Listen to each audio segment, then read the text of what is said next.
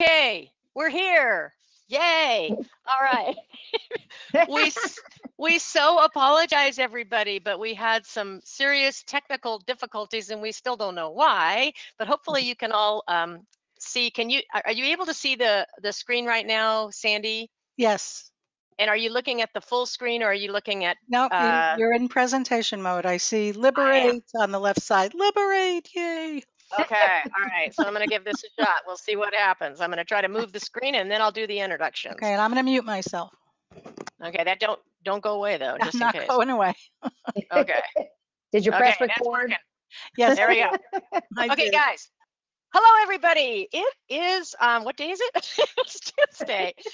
Wow, we messed up. This, we're having some technical difficulties. I'm going to blame it on um, on uh, Apple because Mac just did an upgrade and all of us upgraded it, so we think that's what it is, or it's Citrix. But we apologize. Joni, I Good didn't upgrade. afternoon. Oh, you didn't upgrade, so we can't blame them. Okay. Yeah. Good afternoon, and thank you all for being here today, and thank you so much for your patience. So my name is Joni Ogg, um, untechy person, and on behalf of the travel professional community and Travel Professional News, I want to welcome all of you to today's webinar, and thank you for taking time out of your day to join us. We're really happy that you came here and that you've been patient enough to wait for us during for this amazing presentation. And today's topic is seven changes that will liberate your business in 2021.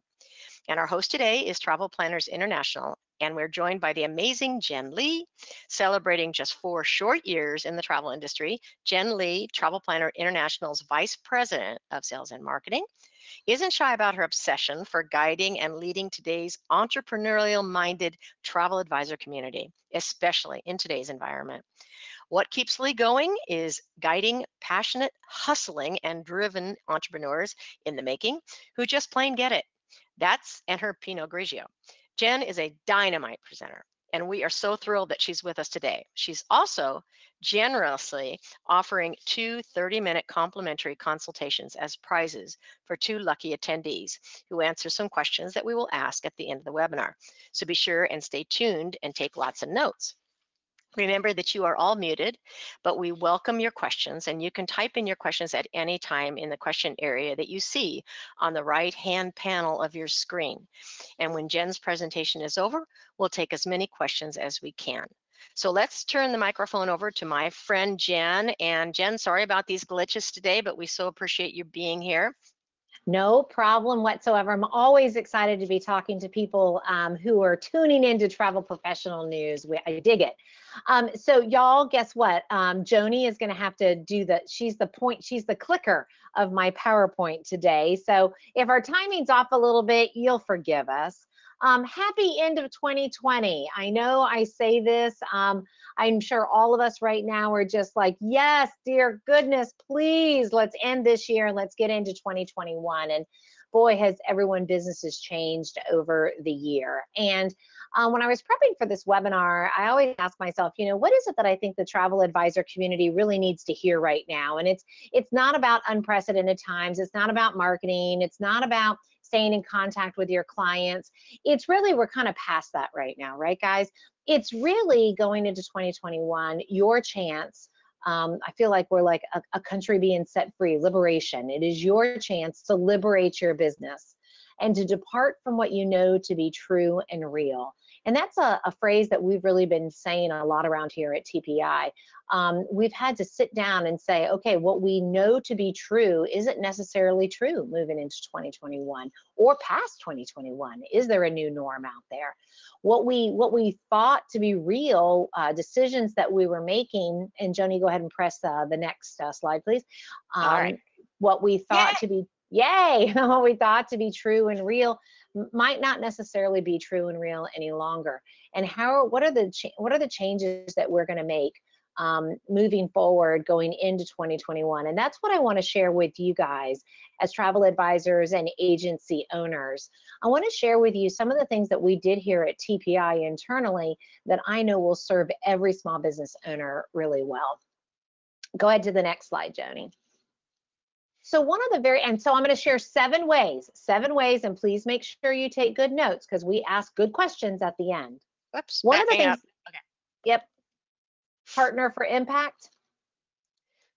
We're there. Okay, good deal. So one of the things we did at TPI was um, we started to take a really strong look at who our travel partners were. You might know them as travel suppliers. We call them travel partners.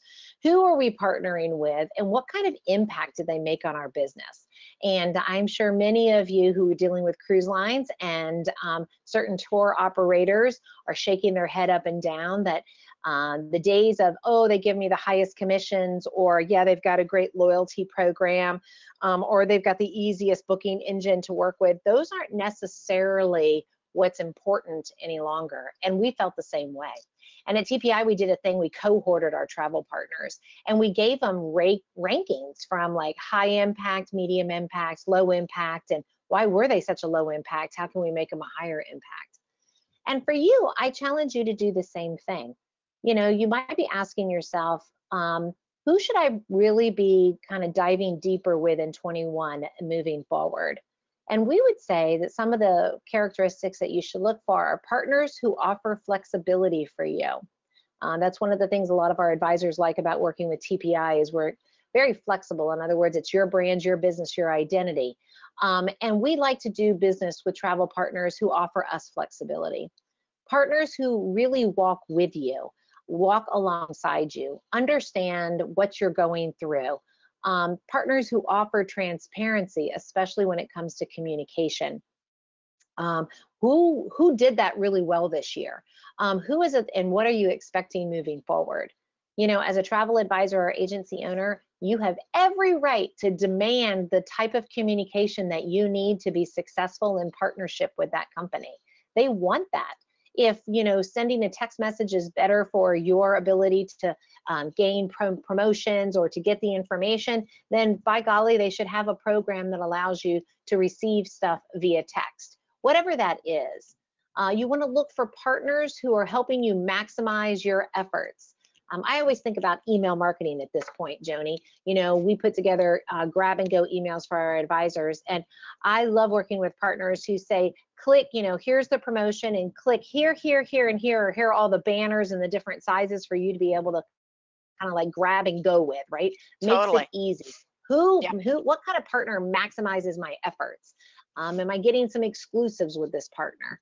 And then partners who you can sell with ease and excitement uh, ones that you get excited about picking up the phone and calling their headquarters or get excited about digging into their website or excited about learning about their new products. Um, the partners, uh, partnering for impact is probably the biggest change that we're going to see a lot of advisors make. Um, and at this time, I'd love to, um, you know, hear from anyone who's listening. You know, have you made changes to some of the travel partners uh, and affiliations that you've had? Um, Joni and I are in love with uh, ASTA, right? We love us some ASTA all day long. And ASTA's done such a great job this year. You know, that's a partner that you should add to your to your partner bag. Uh, so moving into 2021, think about these five different criteria. And if you dump the partners that are not doing a good job for you, if you um, give yourself an opportunity to ask, you know, ask the deeper questions about who you're affiliated with as well. If you give yourself a chance to kind of be curious about what else is out there, you may surprise yourself. Um, I'd love to hear from anybody that's, um, you know, typing in. Have you done this so already? Jenn, I think when it comes to them typing in, because we got this little screen thingy bopper going on today. Oh, um, you're not going to see that's it. A tech, that's a technical term, thing thingy bopper. And Sandy is able to, and we love Sandy, everybody. We love Sandy. And Sandy Elson is on here, and she can actually see the questions. So she's Okay, going to chime in when necessary. Okay. Okay, good deal. And we do have one agent who said we are changing who we recommend for travel insurance. Oh, very good. Yes, there's a lot of good travel insurance partners out there.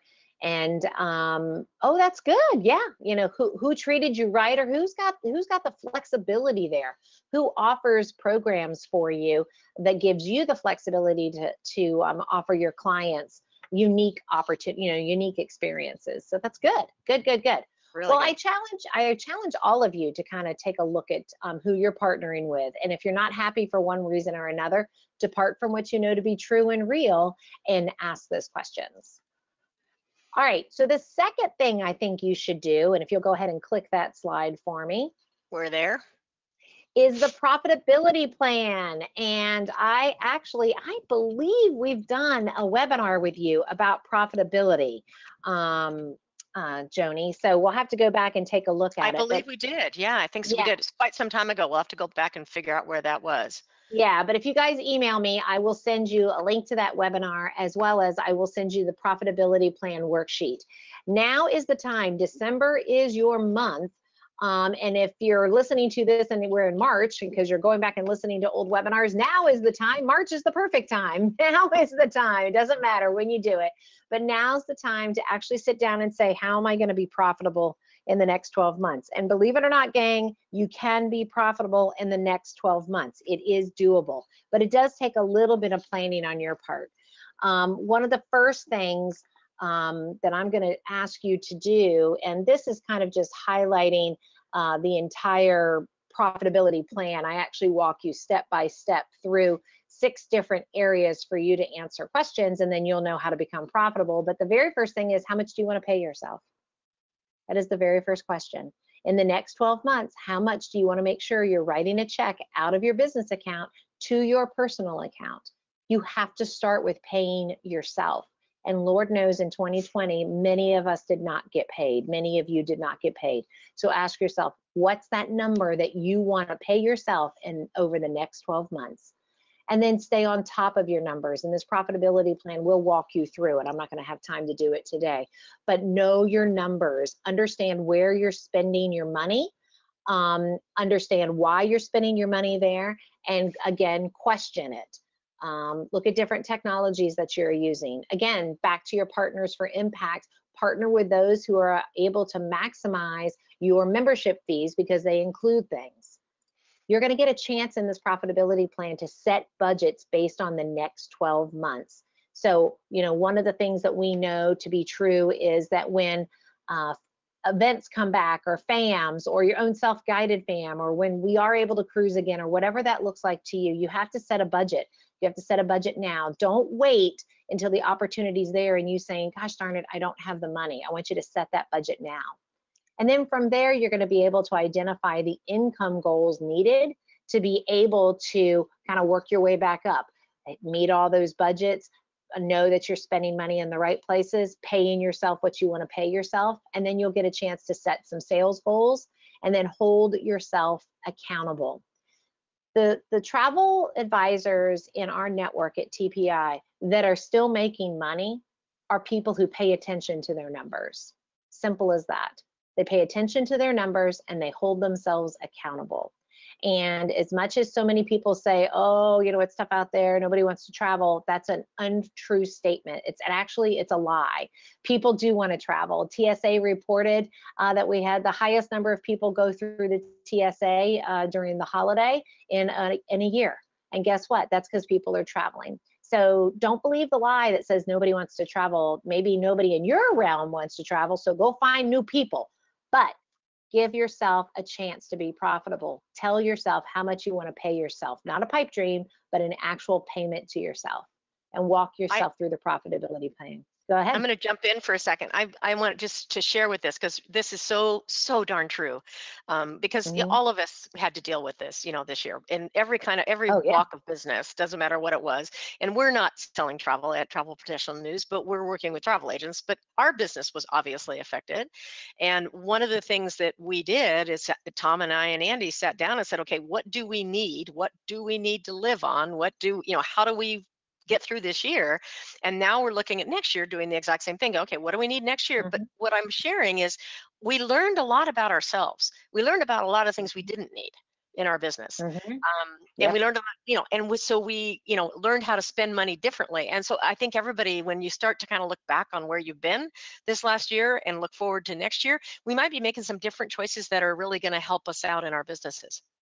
Yep, absolutely. And the and the work that you put in today will pay off if something like this happens again. And we're going to talk a little bit about that um, a little later on in the webinar. But the work you put in now, and the reason why this is one of my this is number two on my liberation list is because once you know your numbers and you hold yourself accountable to them, you'll start meeting them, and then you're liberated like because then the fear isn't the thing that's got hold of your checkbook. It is your it is your focus is what will have hold of your checkbook. It is it is that force that you're putting behind all of your activities. So profitability plan just email me there guys and i will send you uh, the worksheet as well as a link to the webinar that we know we did at some point. I, it was probably a year ago. Yeah, but we did. I know we did though. I know we did. exactly. Now tip number three you're gonna have to fire yourself, people. I'm I'm I'm over it with you people trying to do everything yourself. And one of the things that you're gonna see in the profitability plan is that it, there's a budget there for you to hire somebody. So if you say any of the following, and I hope you have the whole screen up there, if you say any of the following, you know, I really struggle with, or I really don't like doing, or I keep many meaning to do, fill in the blank and I'd love for somebody to to chime in with something I struggle with social media. I struggle with email marketing. I really don't like doing confirmation calls. I really I keep meaning to submit my sale. Still cracks me up in the host agency world. People forget to submit their sales. You know, if you find yourself saying those things, and Sandy, let me know if anybody's got anything in there. If you find yourself saying any of those things, then you need to hire someone to do those things. Now, that doesn't mean you have to hire a $60,000 a year employee. There are plenty of people out there right now that have been laid off or furloughed, or their hours have been cut, um, or their spouse's hours have been cut, or they've been laid off, and they're looking for a part time gig. They're looking to be part of something. It might only be $10 an hour you can pay somebody. It might only be 50 bucks a month or $100 a month or something set aside a budget to hire somebody to do the things that you really should not be doing. Because Jenn? travel advice, yeah, baby. Our first agent comment says she hates doing accounting. there Me you too. go. I do too. I I still haven't gotten my expense check from January and February. I just need to turn in my expense report and I'll actually get money. I'm calling it the Christmas Club. Um, and that just reminds me, it's still sitting there. It's literally sitting Oh. right there. It's like $700 I'm not paying, I'm paying myself. So if you don't like doing accounting, you can even go to Fiverr and there are people who will do accounting for you. If uh, you are with um, a host agency, ask your fellow advisors, see if you can share a bookkeeper, see if there's somebody who, you know, for 10 bucks an hour, for five hours, um, every other week will do the accounting for you. Find somebody to do it for you. A This college agent- student. This agent says, I hate data entry and I'm waiting for our new CRM to hire someone to do it. Oh, good. I don't know if she's a TPI advisor, but yeah, just hang tight. Hang tight. Just wait. um, and then hire someone to put that stuff in and you just have to put it to a spreadsheet and then you can upload it. But yeah, I mean, fire yourself with those tasks and duties and liberate yourself because what we've found is that everyone had to make drastic cuts in the beginning and rightfully so. And so we cut that that extra person that used to help us and then we took on all this extra work on top of the fact that we are now doing the work that we didn't like doing. So it's work on top of work on top of work, and um, we're drained and retired. And so going into 21, you've got to find some money somewhere, borrow it from a neighbor, do something, give yourself a budget, and give yourself 30 to 60 days to hire someone to do some of those things that you really shouldn't do because really where we need your energies and your brain and your emotion is in selling travel is in curating experiences. So liberate your business and depart from what you know to be true and real which is i'm broke gently there's no way i can afford this. Uh-uh. Get cure get creative. With constraints comes creativity. Get creative. You never know who might want to be helping you for piddling maybe even no money. Might be somebody at home just like i just I want to make sure I keep up my accounting skills. I'll do your books for free. You just don't know. So fire yourself and hire someone. So that's tip number three. All right, Joni, let's go to tip number four, which I know a lot of people are going to love. Fire your clients. Get rid of them. I'm done with these people. Who wants to get rid of those clients that um, have been calling you every third day looking for their refund and you've told them you know time and time again it's going to be at least six months now mind you a lot of travel partners have not really helped us at all uh, they haven't been very transparent with their communication they certainly have been um, not good partners walking with us but away from us when it comes to help. But in reality you know who those clients are. You've always known who those clients are. You know what? Now's the time to fire clients you don't want to do business with. Um, my first point here is no is a complete sentence. So if somebody says, hey, I, you know, I'd, I'd love for you to quote me on six different cruises, da, da, da, your answer could always just be no.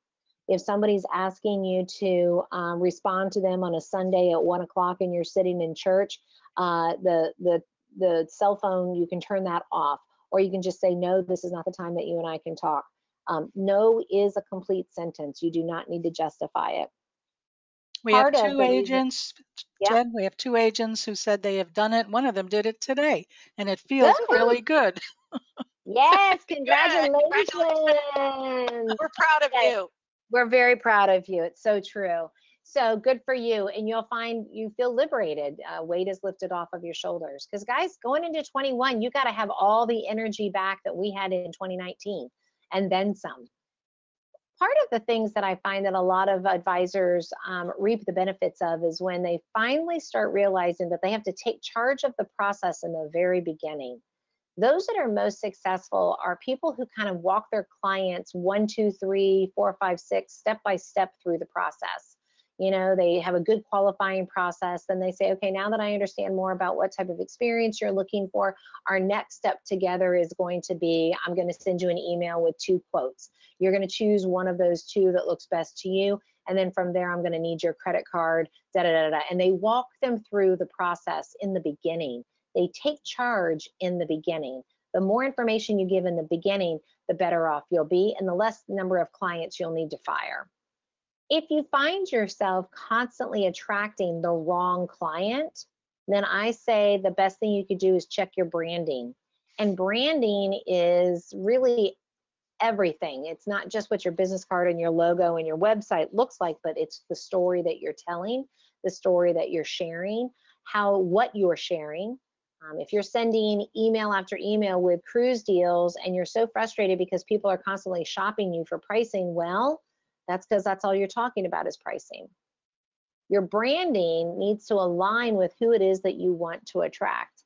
And I love, um, and I'm sure Sandy and Joni, you've heard this before when you ask people, so who do you want to work with? And they always say, I want to work with somebody who values my expertise.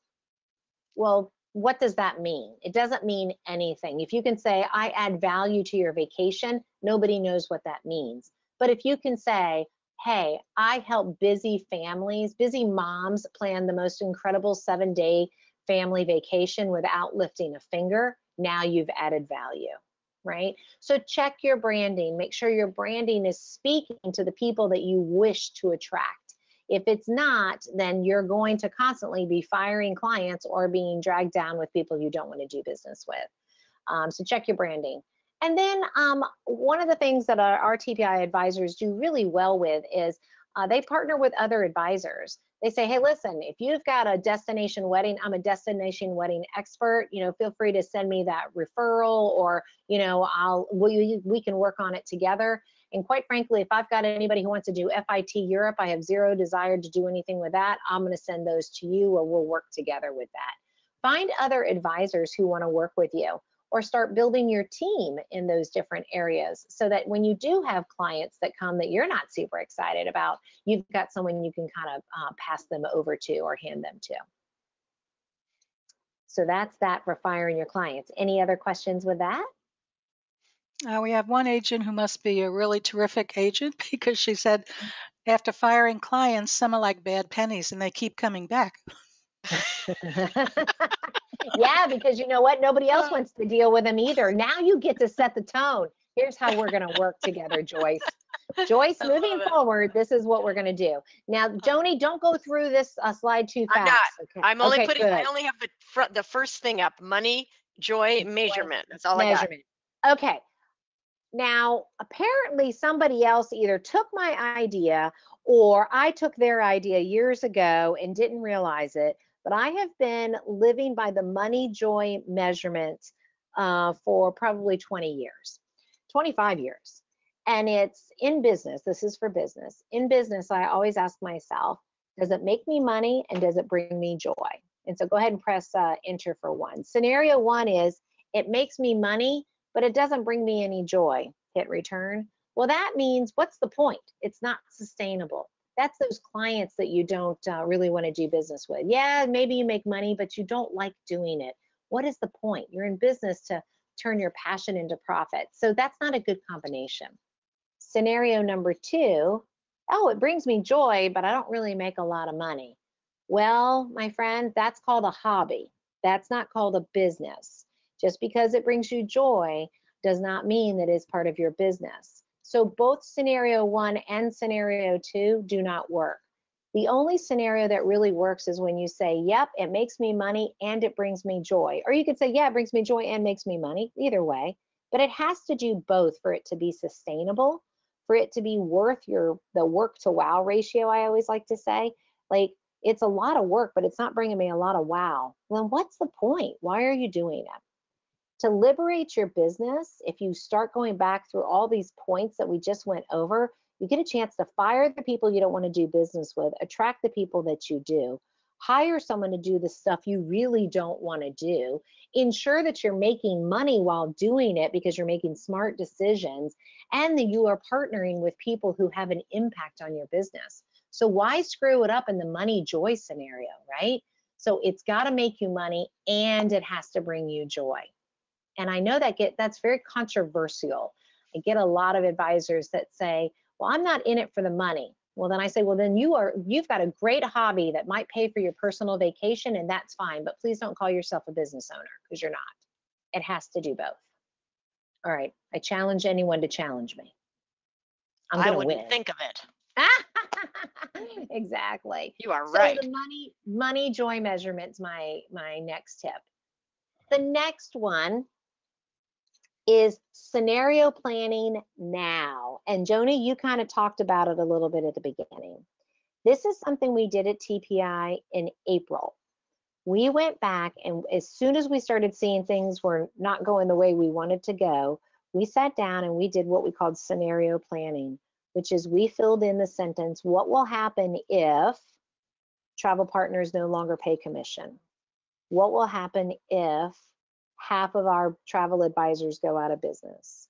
What will happen if cruises don't sail for the next six months? We sat and we gave ourselves 10 to 12 different scenarios and we worked through them very quickly with solutions. And the beauty of this is most of this we haven't had to implement, even though we haven't sailed in almost a year. But most of it we haven't had to implement because along the way we were able to make smart decisions because through the scenario planning, it showed us where our weaknesses were and where our opportunities were. And you have that chance as well. So I challenge you to say, what will I do if I don't get commission until June? And then it's, will I be able to pay my bills? How will I pay my bills? Will I still want to be in this business? What, how will my business look? What are the changes that I'm going to have to make with that? We have um, our number one advisor at TPI. Um, he has about 240 uh, travel advisors that work on his team, and they sell almost exclusively Carnival. And as soon as he started seeing things were not coming back quickly, he switched all of them over to all inclusives, and they're killing it. They're doing a great job because they know they're not going to get those commissions from cruises as quickly as they were used to. So now they're going to all inclusives. And you know what's going to happen? Next year, when cruises come back, they're going to have both skill sets. Their clients are going to be used to hearing about two different types of travel. And now they have more flexibility because now they're partnering with other people who can give them a different type of impact. But that's because he did a scenario plan quick. What happens if Carnival doesn't sail for a while? How will my business continue to thrive? The reason this liberates your business is because it's kind of like it's I was going to use a weight, uh, a scale thing. I'm going to do it anyway because I weigh myself every morning. I don't know who else weighs themselves every morning, but I weigh myself every single morning. And there are days that I know I did not do good that day before, and I really don't look forward to jumping on that scale. So I used to just not jump on the scale. But you know what was still the truth? The weight. It didn't matter if I jumped on the scale or not. I weighed what I weighed, what I weighed, right? And so now I jump on the scale so I keep myself in line because I'm doing the scenario. Oh, I just gained a half a pound. What do I need to do with it? It's kind of like not wanting to open up the bills when they come in the mail. Well, guess what? The money is still due. As soon as you open it up, it takes that unknown factor out of it. It takes that fear factor out of it. And then you go into solution mode. And so, scenario plan now. Think about all the changes that you were able to make this year. And what are you going to do going into 2021? So plan those out. Are you ready for the next one? I am, babe. I wish this was a live audience. I mean, they're I live. know. I all I know. alive, well, we are kind of live. Yeah, you're all alive. It's good to hear you. Um, my final tip is legacy planning. So you've done the scenario planning for what will happen if. Um, legacy planning is really sitting down and saying, why am I building this business? What am I building it to do? This is a standard question with an answer that most businesses, when they launch or they're halfway through or they see some sort of, um, not end, because it's not really about ending, but they see kind of a path, they start planning for their legacy. Am I building this business to pass down to my kids? Am I building this business to um, pass to a fellow advisor? Am I building this business to sell my customer database at some point? Am I building this business and I'm going to um, gracefully retire and start, um, you know, the last three years of my business, I'm going to send my cruise clients to this person. I'm going to send my land clients to this person. Um, you know, what are you doing with your business? And you might still be 20 years away from it. But I think it's really important that at this time, while we're at this almost like blank slate, right? Like all of our slates are kind of blank. We get a chance to kind of relaunch the business. And again, if you go back through all these things that I've just um, mentioned to you, the liberation points, you can you can go back through it and now you can kind of see the life cycle of your business. What does it look like moving forward? And set, I, I hate those like five-year goals, 10-year goals, more like go way out, like you've retired or you're dead or you're right before you're dead because you can't do anything once you're dead, but like go way, way out and what is it that you hope your business the legacy of your business is?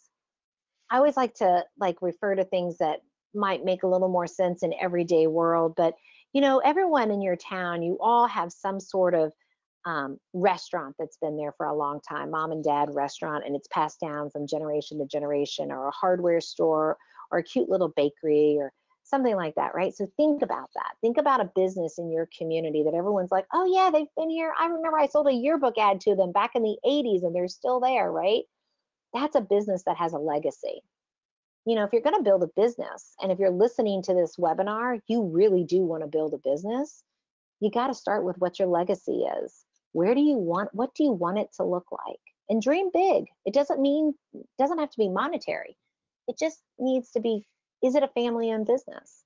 Is it is it is, is it a business that serves your community for 35 years? And then how do you do it? And then go backwards. You know, that's your legacy. What are the scenarios that you need to plan out for now? Let's make some good decisions on what we do. It's got to make us money and bring us joy. We've got to hire hire the right clients and fire the wrong clients. We got to fire ourselves and hire ourselves and hire somebody else. We've got to have a profitability plan and you got to partner for impact. And you really, honestly, guys, when the rubber meets the road, if you do all of these things, you will liberate your business. Joni, just the next slide, please. You will liberate. You will Oh, liberate your business. Yeah. Um. And and and Joni, there's going to be one more slide, but don't don't click it yet. I'm not. Um, because that's the end slide, and I don't know if you know what it looks like, but just don't do it yet. Okay. So Okay. So you will liberate your business and and you will get more curious. So i know we've got some time left. I'd love to open it up to questions. Any question i don't care what it is. We could talk about vaccines. We could talk about cruise lines. We could talk about email marketing. But what is something that's bothering you right now in your business that you want some advice on? What what point did i talk about that like hit home for you Okay, Sandy's going to kind of manage that piece of it. And then Mhm. when you're ready, I'll do your other questions for the prize. So you just let me Perfect. know. So, Mm, Sandy, do we have any questions in no, there? nobody's questioning anything except for wanting to get that CRM from you, Jenn. Whoops. It's coming. It's coming. TPI's got a Pressure, the pressure. coming. We're so excited. Yeah, yeah, yeah. Well, guys, listen, I know I've given you a lot of information. I want you to definitely email me and I'll send you the profitability plan and that webinar. Um, but just to show you that my money, wait, um, I speak my truth. I too liberated and go ahead, uh, Look at this. I too liberated and I went from curls to straight hair because I said we got to go into 2021 with a whole new attitude. And I liberated, Wow. I departed from what I knew to be true and real, which is my natural curls. And um, everyone said, Oh, you're known for your curls. And I'm like, Well, I want to be known for my personality and my brain. So, um, as cute as I was with curls, I think I look even better with straight hair. I You think you So- look look gorgeous. gorgeous. Absolutely beautiful. Um, totally different. Jenn, we do have one question here. How do you start when you haven't done any business this year? Well, start with the profitability plan. I would say start with that first. And then I would then um, partner, choose your right partners, um, whether they be travel partners, host agency partners, consortia partners. Partner with some people who are going to help you along the way. And then be very, very honest with yourself. Answer these three questions Who do I want to do business with? How do I want to serve them? In other words, what do I want to sell them? Is it um, I'm into Europe, I'm into cruises, and where do they hang out? Who do I want to serve? How do I want to serve them? And where do they hang out? If you can answer those three, partner with the right people and give yourself uh, a profitability plan and hold yourself accountable, start marketing, you'll be well on your way. Jenn, one of our agents wants to know how do you suggest we find other travel agents to work with? Um, well, I'm hoping you're part of a host agency. If you're not, you should be. Um, if you are with a host agency, I would reach out to my host agency and say, here's what I'm looking to accomplish. They should be able to connect you with other travel advisors. If you're not with a host agency, um, you're really missing out on probably the best of everything that's out there in the travel industry from a support and community standpoint. So um, I would suggest you contact host agencies. You're welcome to contact contact me here at TPI. Good suggestion again. Another agent, I know you've spoken about this, you could talk about this for a week. Where are agents finding new sources of clients? Oh yeah, my God! Please go back and listen to some of the webinars. Um, you know, they're finding new clients um, through word of mouth, and that means you have to pick up the phone and call your uh, your clients and say, "Hey, listen, I know you're not ready to travel. It would mean I still love my travel business. It would mean the world to me if you hear of anyone that's looking to travel that you would pass my information on." Another way would be uh, leveraging LinkedIn, which I know I just did a webinar on that uh, not too long ago, leveraging LinkedIn to build your business and your profile. Uh, Facebook groups, um, local events. Um, stop emailing your clients and thinking if they're not ready to travel, they're not ready to travel. That's okay. Don't beat them up and don't ignore them, but move on.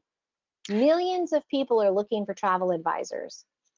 This question kind of relates to that one. Um, this agent said, I have planted seeds with a new lead magnet for river cruises and have grown my email list by over 400 in the last five months. But Oh, I've had, awesome. I've had Go ahead. no inquiries, even for late 2021 or 2022. Do I just need to be patient? No, you need to be more aggressive. So first off, congratulations. You need to look at what you're sending in those emails and you are welcome to reach out to me. I'm happy to take a quick look and tell you what's what you're doing right and what you're doing wrong. If you if this is the first time you've ever heard me speak, I'm a very straightforward, kind individual, but I'll tell you exactly what to do very quickly. Um, you probably are not um, asking them um, you're probably not enticing them to um, cruise. Some there's something you're not doing right. But first off, congratulations on building your email marketing list by 400. That's huge. It's your follow up. Something's happening. There's probably a disconnect between the lead magnet and on what you're providing them. Good information. That's it for the questions for now, but Jenn, you'll be very happy when you read these comments because so many of our agents are saying what a fantastic presentation this is and what a great Oh, presenter you are and how wonderful you look in your new hairdo. about the hair, people. I told all my friends, I'm give me a whole week just to brag about my hair, and then I'll stop talking about it. But I need a whole week. I'm only on day two, so okay, uh, we'll, we'll be patient. It's worth it. So, and I want to Um, just, you know, we'll go ahead and do the questions in a minute. Before we Yeah. finish up, I just want to say um, thank you to everybody for being so patient with our little uh, technical difficulties today. I think uh, hopefully you got, you feel okay about the information, even though it was a little bit jagged in me getting it out. But it was great to have you all here, and I, I do appreciate being so patient. Uh, Jenn, do you want me to do the questions? Want me to name the ask the go for question? it. Okay. yes, please. So remember, everybody, we're giving away two, or Jenn is giving away two consultations, 30 minute consultations with her. And then after you heard this today, I know you see the value in that, and that in itself is like, I hope you get this right. We're going to pick the fifth person, Sandy. Sandy's going to help me with this. The fifth person that gives us the correct answer. I've provided the correct answer to Sandy already, although she probably knew it anyway. Number one question What is the name of the plan that will help ensure you meet your personal financial goals? Okay, the name of the plan, and I'm going to take the fifth correct answer.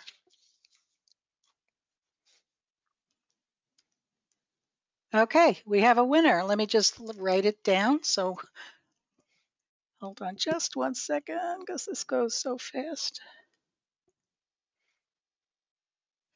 Okay, the correct answer is the profitability plan, and our fifth correct uh, agent to write it down is Lori Marshall. Lori Marshall. Oh, hey, Marshall. Lori, congrats, babe. Oh, that's awesome. Okay, congratulations, Lori. Okay, we got one more chance at this. Be listening, everybody. Are we ready? Drum roll. Okay, complete Okay. this sentence. Depart from what you know to be. Ooh, They have to be paying attention to know this one. Mhm. Okay, answers are coming in.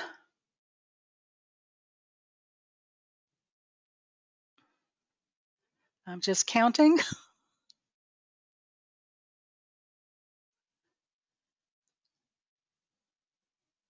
All right, I'm going to give it another moment.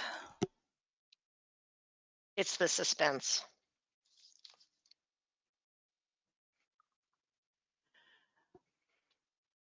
Okay, well, we did not have as many people answering.